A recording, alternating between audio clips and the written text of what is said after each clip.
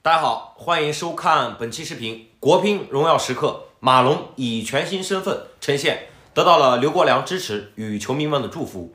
国乒资深球员马龙即将步入三十五岁，作为中国乒乓球队历史上双圈王、大满贯得主之一，他以坚持不懈的姿态为中国乒乓球的发展做出了巨大的贡献。马龙继续留在队内至三十五岁，并未选择退役，这充分的展现了他的责任心。作为第一个实现双圈大满贯的运动员，马龙确实取得了引人注目的成就。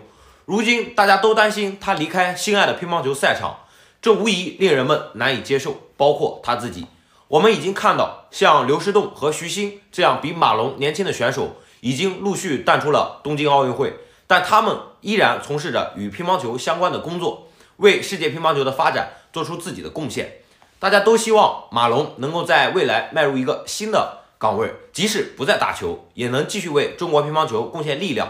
这正是广大球迷所期待的。我们希望看到马龙能够成为中国乒乓球管理层或教练组的一员，成为第二个刘国梁。随着年龄的增长，马龙确实感受到一些力不从心的状况。新周期中，他输掉了许多比赛，无论是国内还是国际比赛，他的体能状况、身体机能和比赛稳定性。都不如以前了，因此我们都希望他能够顺利的完成转型。幸运的是，国乒的年轻力量如林诗栋和王楚钦纷纷崭露头角，他们的涌现让马龙能够放心的交接接班人。相信国乒男队在新周期将会平稳的度过。近期，马龙作为国乒的旗帜，再次迎来了荣耀时刻。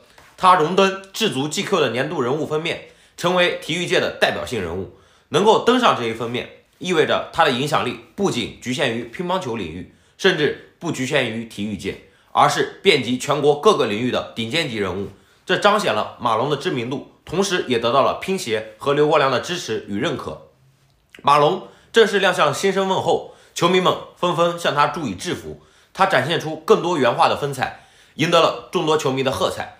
这再次证明了他作为一名备受尊敬的运动员的影响力。相信。他未来可以顺利的进行转型，在新的岗位上为中国乒乓球的发展，甚至为世界乒乓球的发展贡献自己的力量。